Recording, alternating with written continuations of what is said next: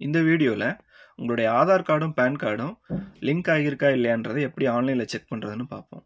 இது உங்கள் மொபைல்லே பண்ணிக்கலாம். உங்கள் ப்ரௌசர் ஓப்பன் பண்ணிக்கோங்க. கூகுளில் போயிட்டு இ ஃபைலிங் அப்படின்னு டைப் பண்ணி சர்ச் பண்ணிக்கோங்க.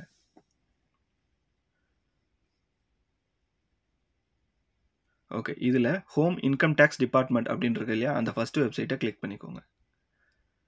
இதில் செகண்ட் ஆப்ஷனாகவே இருக்கும். லிங்க் ஆதார் ஸ்டேட்டஸ் அப்படின்ற ஆப்ஷனை சூஸ் பண்ணிக்கோங்க.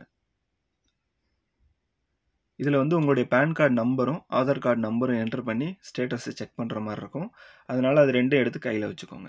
ஓகே இப்போ இதில் பேன் கார்டு அப்படின்னு இருக்க பாக்ஸில் பேன் கார்டு நம்பரை பார்த்து இங்கே என்டர் பண்ணிக்கோங்க. அதே மாதிரி ஆதார் கார்டு நம்பரையும் ஃபுல்லாக என்டர் பண்ணிக்கோங்க. என்டர் பண்ணிட்டு ரைட் சைடு பாருங்கள் லிங்க் வியூ ஸ்டேட்டஸ் அப்படின்னு இருக்கும்.